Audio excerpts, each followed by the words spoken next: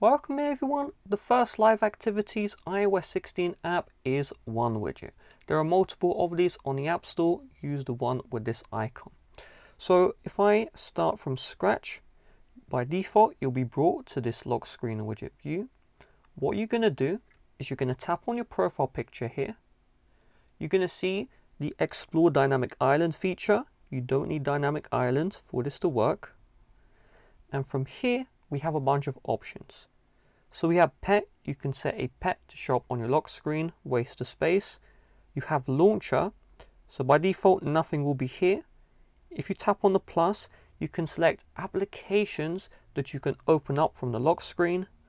So you tap on plus, select the app, and when you tap on the app icon, it will actually open up the app, which is really cool. You have sleeping and health. Launcher is the only one I find you know, useful. You can play around with the others. And so when we tap on start, we go to lock screen, you can see we have this live activity. You may need to tap on the keep option. And when you tap on the app, it opens the application directly. Uh, you also notice in dynamic island, we have this here. If you long press, you can see those apps. I personally don't like this showing up, so I'm going to slide from the far left to the middle and that will hide the app. FotMob, this is only for people who care about football. If a game is live and you favorite it, it will show up on the lock screen. So I have this game here, I favorite, and because it's running right now, it shows on the lock screen. If the game isn't running, it will not show up on the lock screen. The next is shelf.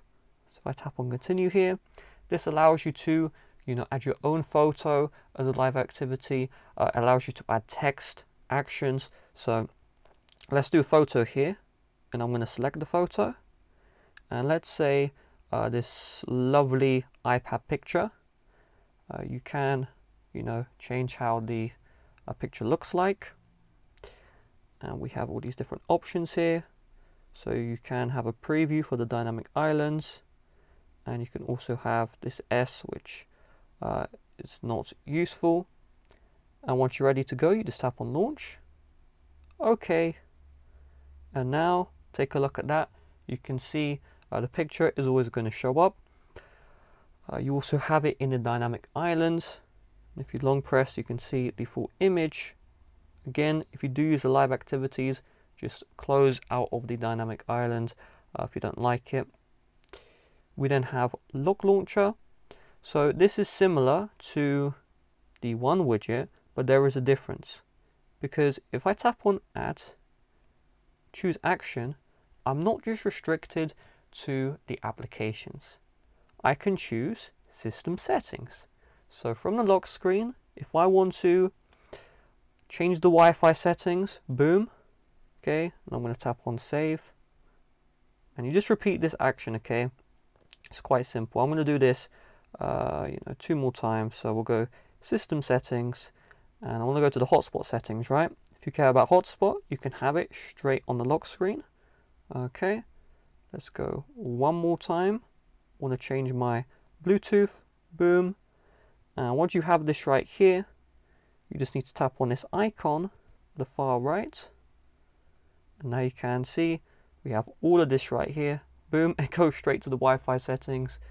Uh, of course, you will need to keep this one so it doesn't take half the screen boom, straight to the Bluetooth settings at any time. We then have sticky timers. If you want to start a timer, well then you start a timer like this, and you can see it will show up on the lock screen. You can stop the timer, you can have multiple timers running, okay. We then have tide guide, so it will ask for your location. There'll be 20 like buy me pop-ups. You can just tap on the X, this is all free, okay and from here uh, let's say I want to have the falling tide whatever. Just tap on the play. And you can have a live activity with a tide height solar which is you know when the sun rises and when it doesn't rise lunar which is I'm assuming the moon and then the next tide.